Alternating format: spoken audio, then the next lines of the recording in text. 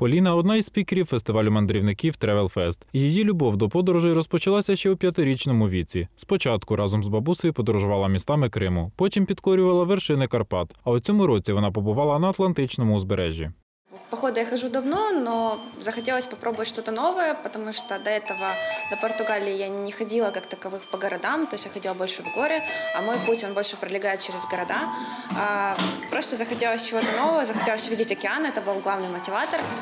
Ну и просто в какой-то момент захотелось отдохнуть от э, окружающего мира.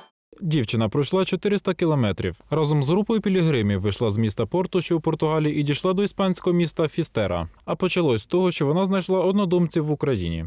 Кожен день я просыпалась в новому городе, каждый день я шла по новым, знакомилась с новыми людьми, с иностранцами, то есть это другая атмосфера, другая культура, другая страна, и это было круто. То есть когда это все, ну, не то чтобы заканчивалось, но когда по возвращению домой, это было четкое ощущение до и после, и как внутри меня, как и внешне, то есть какие-то такие перемены действительно случились.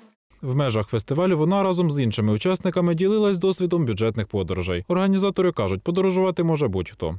Просто поделимся опытом, чтобы люди знали, что они не одни, что есть такие же люди. И Хочется создать пространство, где бывалые путешественники поддержат начинающих, а начинающие поймут о том, что они не одни, а, такие вот с горящими глазами, и найдут какую-то поддержку, опору в этом мире.